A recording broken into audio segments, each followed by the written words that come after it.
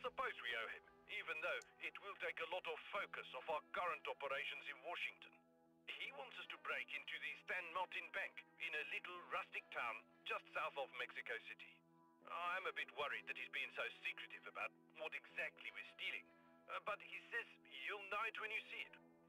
it's always a riddle. Right, you chops.